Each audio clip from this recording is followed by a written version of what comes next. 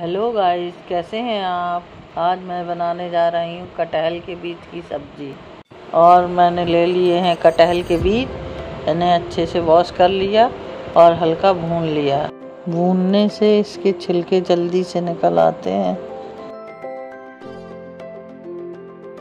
ये देखिए, मैंने सारे छिलके निकाल लिए हैं। देखिए, छिलने के बाद कुछ ऐसे दिखेंगे।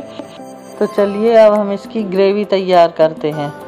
तो ग्रेवी के लिए सबसे पहले हम डालेंगे पैन में तेल डालने के बाद अब हम इसमें डालेंगे हिंग के बाद अब हम डालेंगे इसमें जीरा, कुछ खड़े गरम मसाले, हरी मिर्च, लहसुन, अदरक, इसके बाद प्याज डाल के भून लेंगे।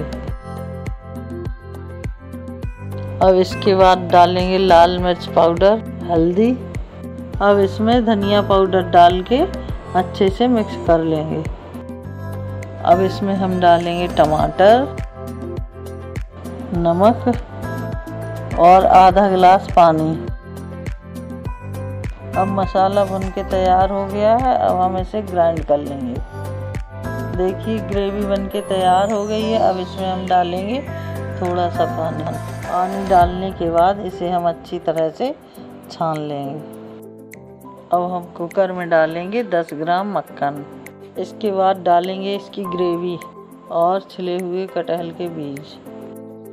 और हमारी सब्ज़ी बनके तैयार हो गई है। बस आज के लिए इतना ही। मिलते हैं एक नई रेसिपी के साथ। तब तक के लिए थैंक्स फॉर वॉचिंग